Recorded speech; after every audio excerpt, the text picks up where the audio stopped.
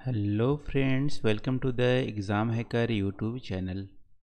दोस्तों, आज के इस वीडियो लेक्चर में हम लोग यहाँ पे classification and distribution of soils, इस टॉपिक को हम लोग यहाँ पे डिस्कस करने वाले हैं।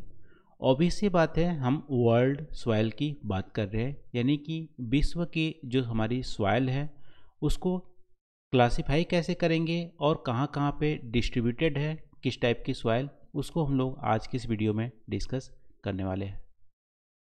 तो चलो दोस्तों, आज का वीडियो हम लोग स्टार्ट करते हैं। दोस्तों, वीडियो के स्टार्ट करने से पहले यूपीएससी के द्वारा प्रीवियस प्रीवियस ईयर में कुछ क्वेश्चन पूछे गए हैं, उसको देख लेते हैं, इस टॉपिक से रिलेटेड जैसे 1992 में पूछा गया था the present classification of soil of the world give their economic significance 2015 में पूछा है classify soil based on the zonal distribution and describe the characteristic of pedals, ठीक है? तो 2015 में पूछा गया है।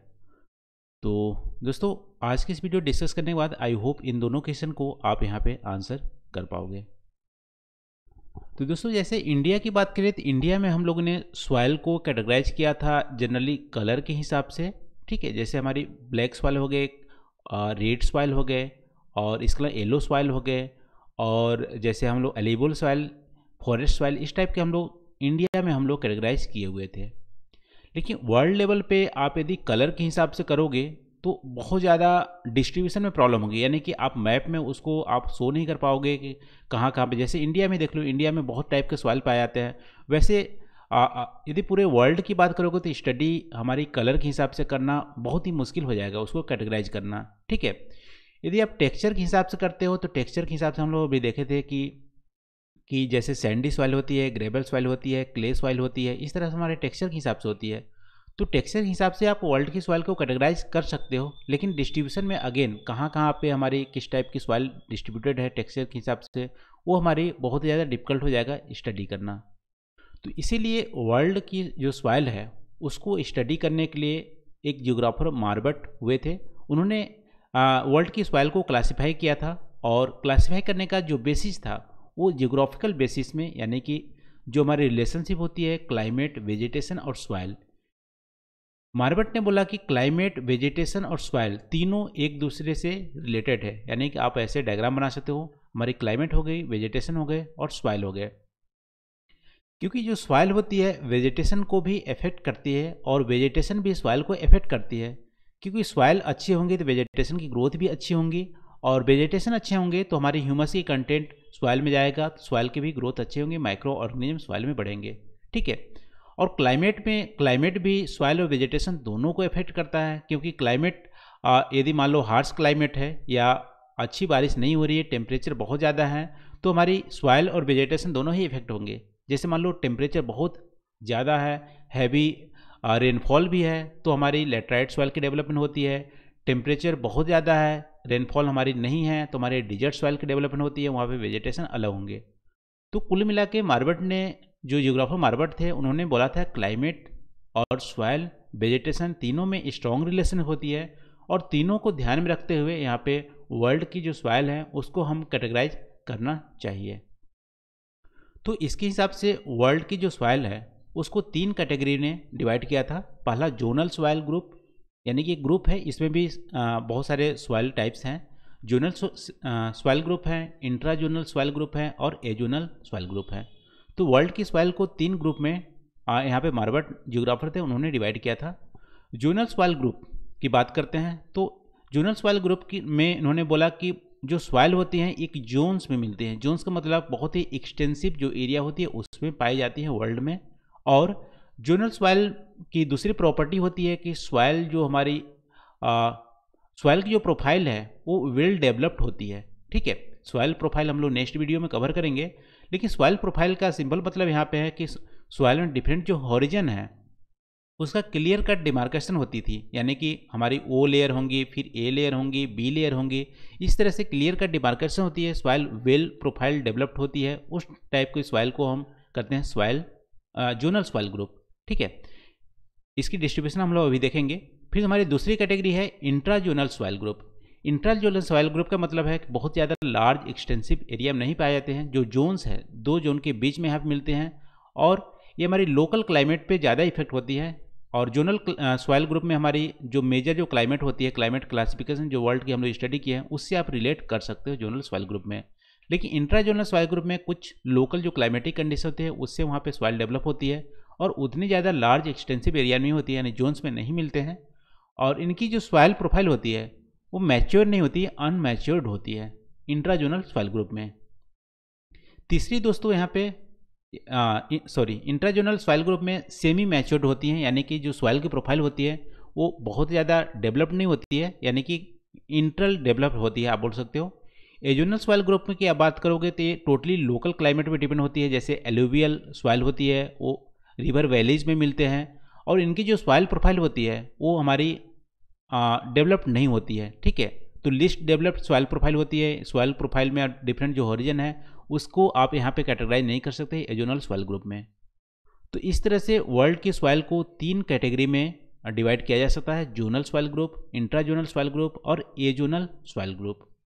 अब दोस्तों, इसको हम लोग डिटेल में स्टडी कर लेते हैं जोनल सॉइल ग्रुप को, की डिस्ट्रीब्यूशन को। तो डिस्ट्रीब्यूशन की आप बात करो तो क्लियरली आप इसको क्लाइमेट से रिलेट कर सकते हो जोनल सॉइल ग्रुप का, जैसे मान लो ये वर्ल्ड है सॉरी अर्थ है, ठीक है, या वर्ल्ड है जो भी समझ लो तो ये हमारी इक्वेटर है।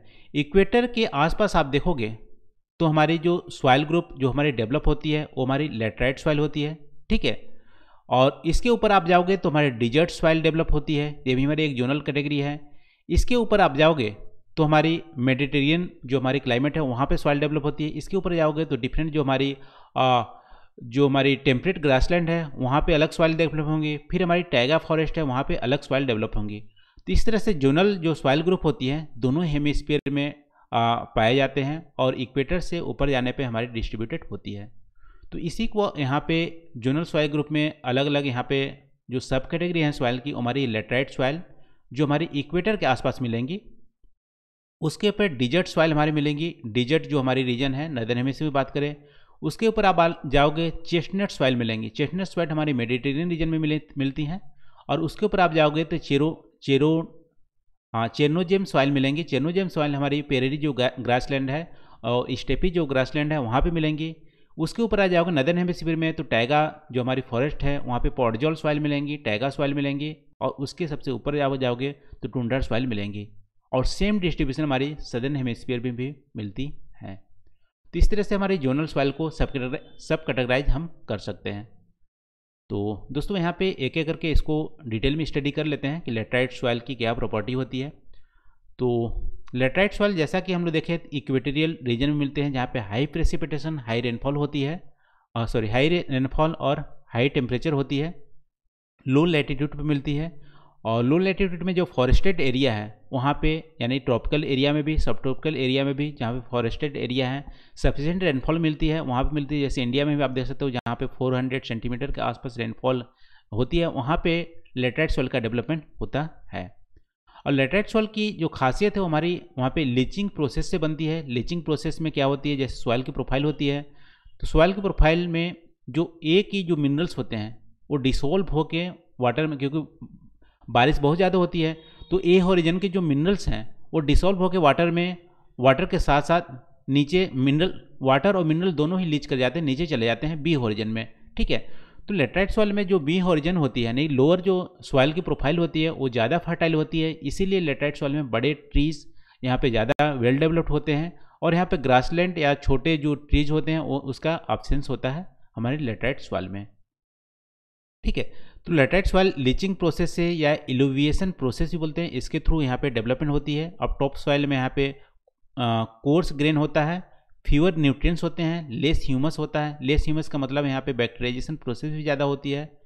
और ग्लोबल डिस्ट्रीब्यूशन की बात करें तो अमेजन बेसिस में पाया जाता है कॉन्गो बेसिन अफ्रीका में पाया जाता है इंडोनेशिया में मलेशिया में और साउथ ईस्ट एशियन कंट्रीज़ है इंडिया में भी थोड़ा बहुत मिलता है लेटराइट सॉइल तो इसका डिस्ट्रीब्यूशन आप यहाँ पे देख सकते हैं।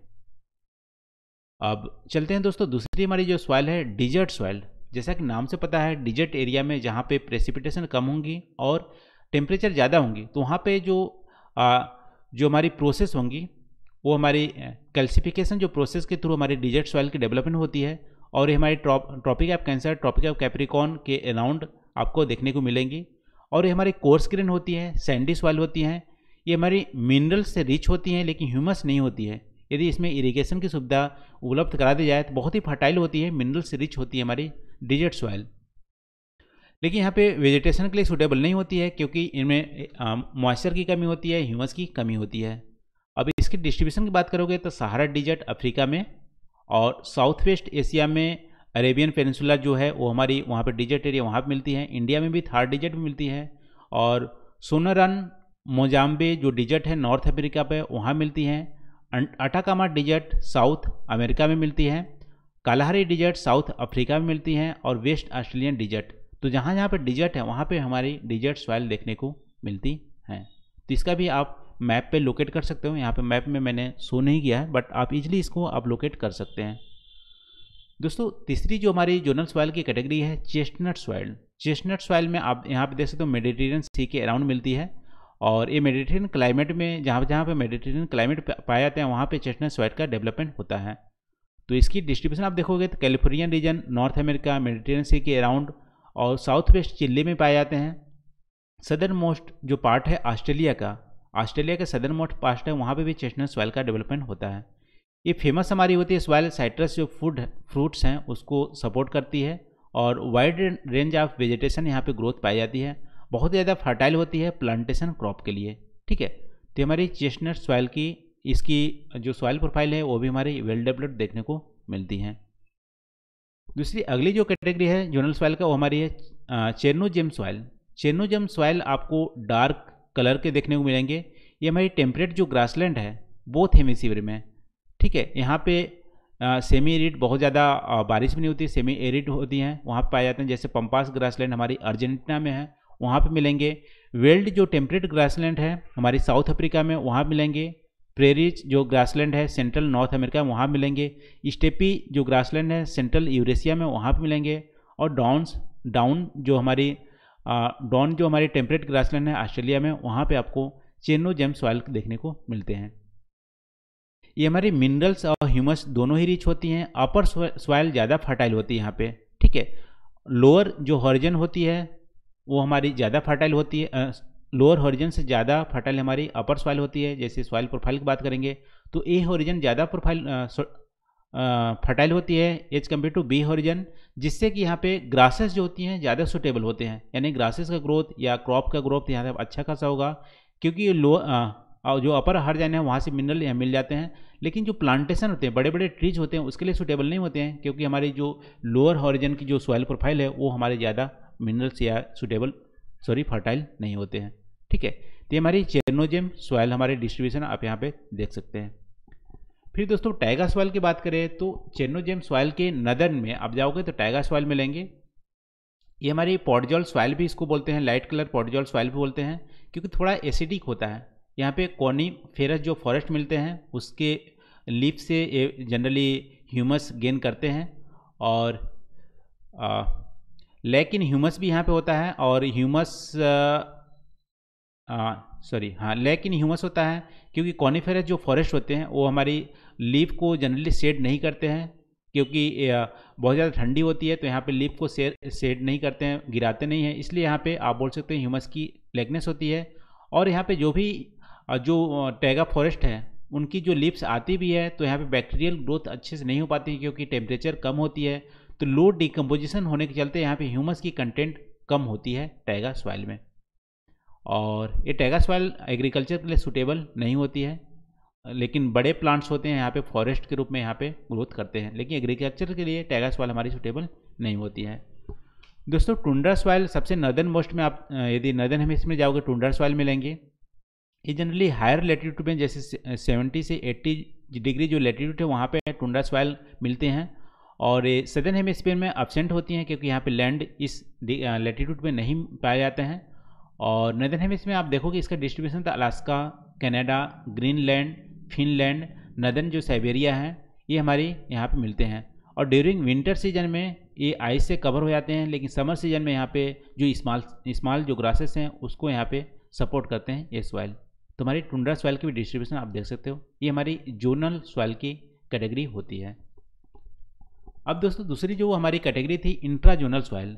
तो इंट्राजोनल सॉइल बहुत ज़्यादा लार्ज, एक्सटेंसिव एरिया में नहीं मिलते हैं। लेकिन यहाँ पे आप देख सकते हो जो हमारी कैल्शियम कैल्शियम, कैल्शियमोफोरिक जो हमारी सॉइल होती है, जैसे कैल्सीफिकेशन जो हमारी प्रोसेस होती है, उसके थ्रू आप देख सकते हो सवाना रीजन में टेम्परेट जो फॉरेस्ट होती है, कैपलरी एक्शन जहाँ पे होती है, वहाँ पे हमारी इंट्राजोनल सॉइल मिल के आती है। ठीक है?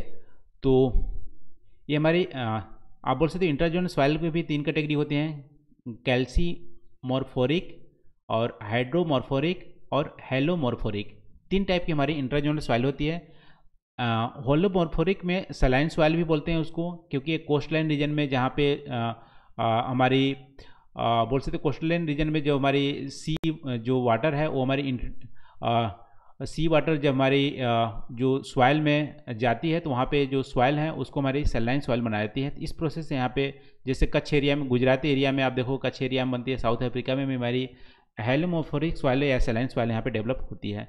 फिर हमारा हाइड्रोमोरफोरिक सॉइल होती है, जो पीटी सॉइल बोलते हैं, ये स्वयं एरिया में हमारी डेवलप होती है। जैसे कि इंडिया में आप देखोगे तराई रीजन में यहाँ पे स्वयं सॉइल या पीटी सॉइल का डेवलपमेंट होता है। वैसे आप देखोगे नर्दन जो यूरोप है, वहाँ पे भी प्रीमिट जो स्वैम्प है, वहाँ पे भी हमारी पीटी सॉइल का डेवलपमेंट होता है, ये हमारी इंट्राजोनल सॉइल की कैटेगरी में आते हैं, ठीक है? और ये कैपिलरी एक्शन द्वारा सब सॉइल जो कैल्शियम होते हैं, वो अपर लेयर में आ जाते हैं, वहाँ पे भी कैल्सी मोरफोरिक सॉइल भी मिलते हैं, ये हमारी सामान्य रीजन में आपको देखने को मिलेंगे।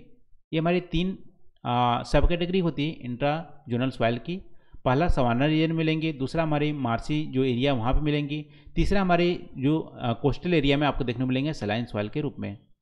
ये हमारी हो गई इंट्राजोनल सॉइल अब दोस्तों, तीसरी जो कैटेगरी है एजोनल सॉइल एजोनल सॉइल में आप सॉइल प्रोफ़ाइल आप बोल सकते हो डेवलप नहीं होती है और टोटली ये आप बोल सकते हो कि लोकल जो क्लाइमेट है, उस पर डिपेंडेंट करती होती है।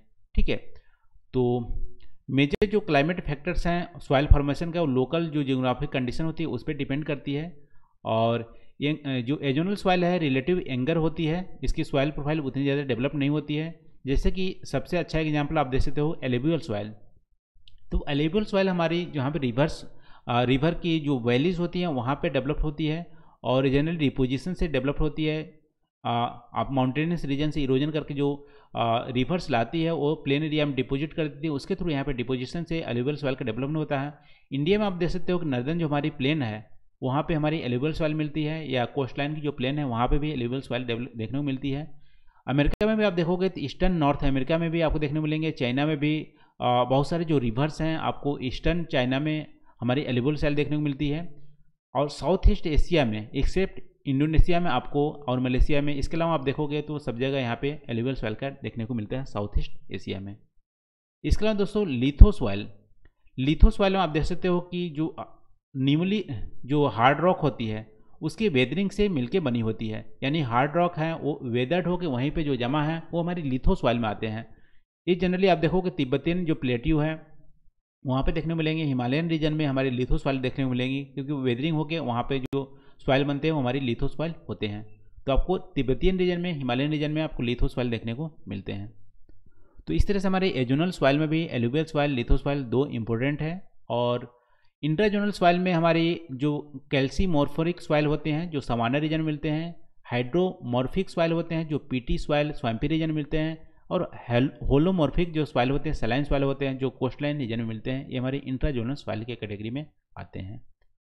और जोनल सॉइल कैटेगरी में टुंड्रा आ गए टैगा हो गए, चेनो चेनोजेम हो गए, चेस्टनट सॉइल हो गए, डिजर्ट सॉइल हो गए, लेटराइट सॉइल हो गए, और ओवरऑल वर्ल्ड की, जो सॉइल की बात करें तो तीन कैटेगरी में डिवाइड किया गया है जोनल सॉइल इंट्राजोनल और एजोनल सॉइल तो ये हमारा दोस्तों मार्बट जो हमारे जोग्राफर थे, उन्होंने वर्ल्ड की जो सॉइल है, उसको कैटेगराइज किया और उनका डिस्ट्रीब्यूशन भी हम लोग आज के इस वीडियो में डिस्कस किए.